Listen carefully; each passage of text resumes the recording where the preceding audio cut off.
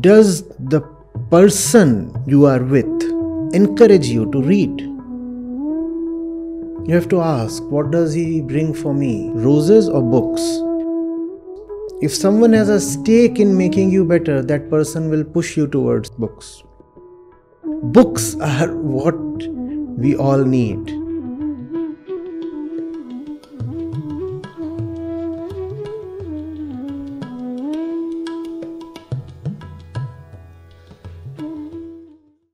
Had a question. It's not regarding spiritualism, but uh, I see you as a, a graduate of IIT and engineer. You graduated from IIM, then you did civil services.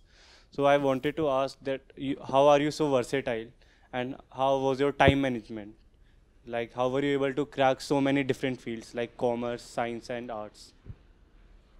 I respect time a lot because I know that uh, mm, everybody, including me, has only a limited supply of it. So that's one thing that I really dislike a day badly spent. Hmm? And that's a battle I always keep fighting.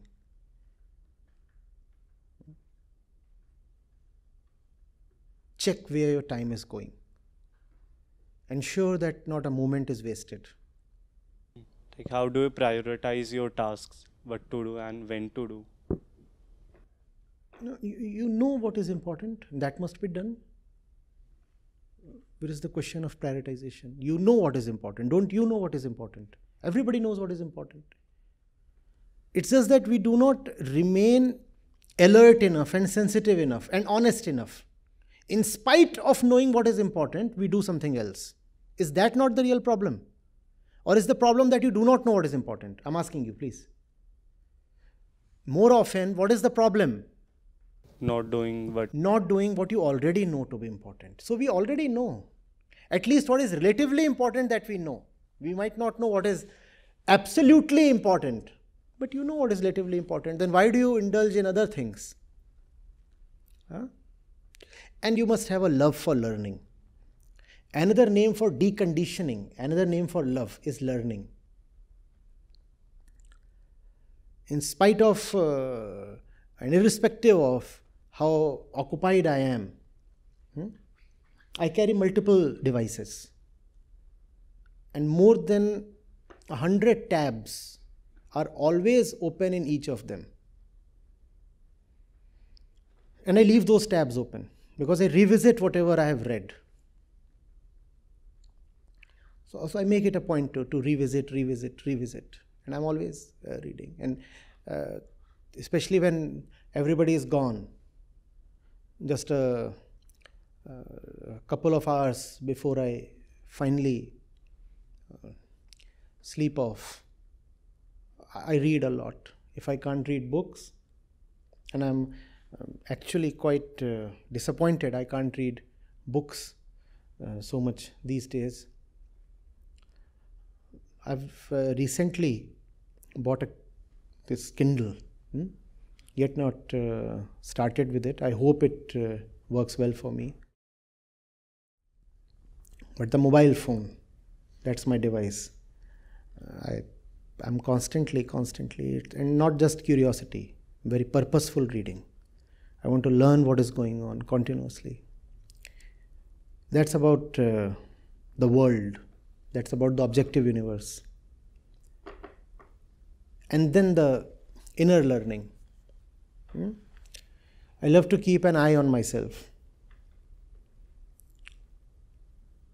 Just as I'm looking at you at this moment, I'm also looking at myself. So, uh, I enjoy being sensitive to what is going on in the body, in the mind, and I and I love to catch myself coming up with uh, ready-made reactions. And I take it to be a thing of pride, for want of a better word. Pride is not the best word, but I take it to be a thing of pride to defeat myself.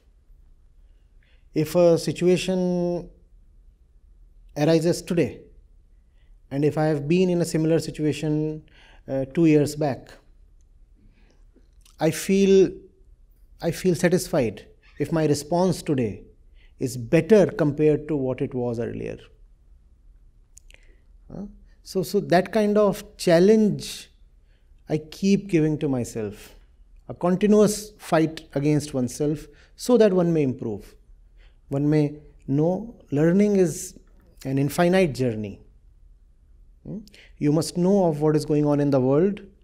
There is just so much uh, uh, greatness, there is so much beauty, great works created uh, by our predecessors, our ancients.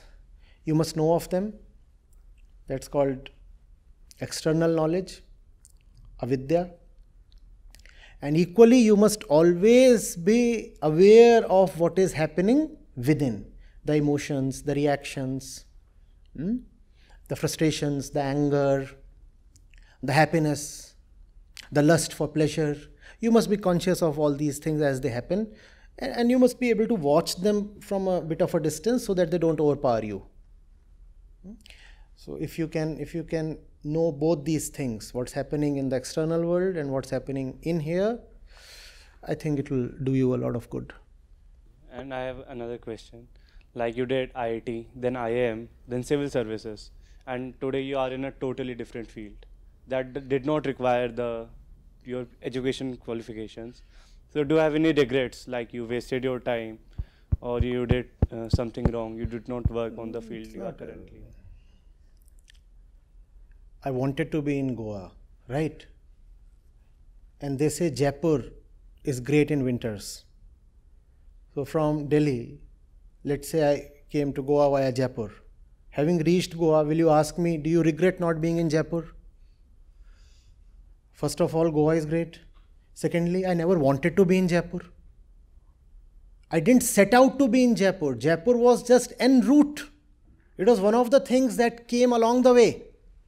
I never intended to settle there. And the journey is such that it has to pass through several places. Any journey passes through several places.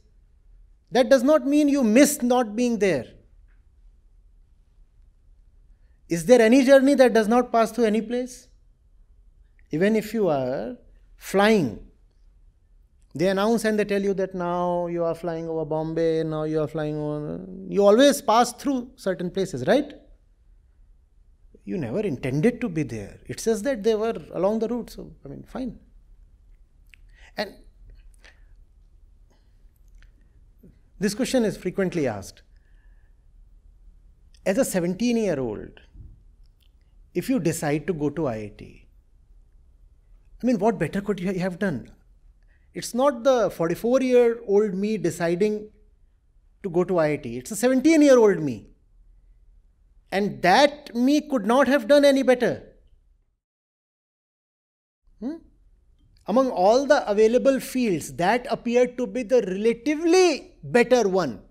So I said, I'll go there. I've continuously talked of choosing the option that appears to be relatively the best one. Where I stood, right, in my class 12th. IIT, particularly IIT Delhi, appeared to be relatively the best option I had, so I went there. Having gone there, I saw a little more of the world and said, fine, fine, fine. Now this appears best. So I went there. It's a continuous journey. Hmm? People don't understand this. They talk as if the self is a fixed entity. They say, if you had to become a Baba, why did you waste a seat? As if when I was age three, I had decided on Prashant Foundation. It all evolves, it all comes along the way. Thank you, sir.